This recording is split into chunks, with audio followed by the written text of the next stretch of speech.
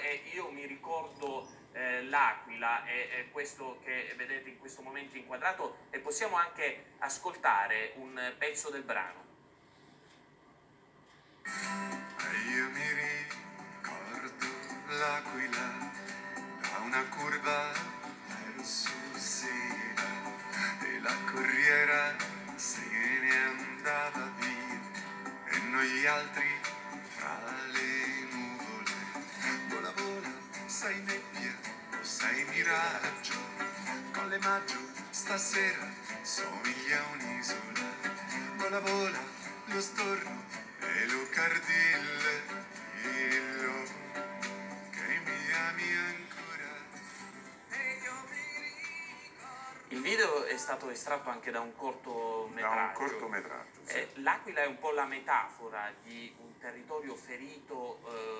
Dalle calamità eh, naturali. La nostra eh, solidarietà naturalmente in questo momento va anche alle popolazioni Certo. eh, catanesi che hanno ferite anche la notte scorsa da un terremoto, l'epicentro Piuttosto recente. eh, sì, a Tre Castagni. E, appunto l'Aquila è metafora di tutti questi luoghi che sono colpiti duramente eh, dalla natura. Sì, purtroppo. che sono colpiti duramente dalla natura, ma molto spesso sono colpiti altrettanto duramente da fatti sociali, cioè per esempio dalla mancanza di lavoro.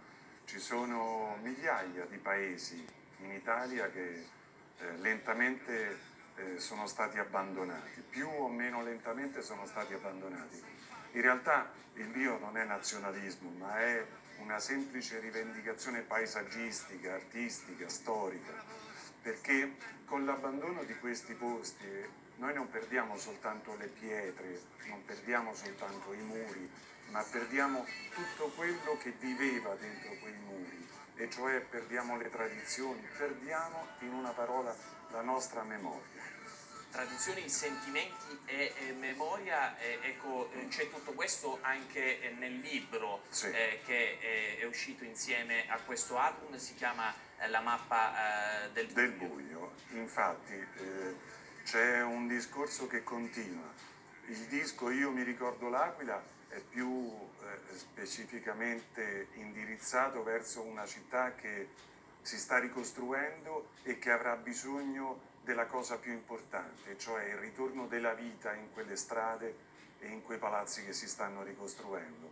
Mentre invece nel libro affronto l'argomento modo un pochino più ampio e attraverso così la scusa dello snodo di una storia affronto di nuovo il problema appunto di tutte quelle zone d'Italia che lentamente eh, eh, vengono abbandonate e ripeto, eh, abbandoniamo una parte importante di noi stessi abbandonando quei paesi.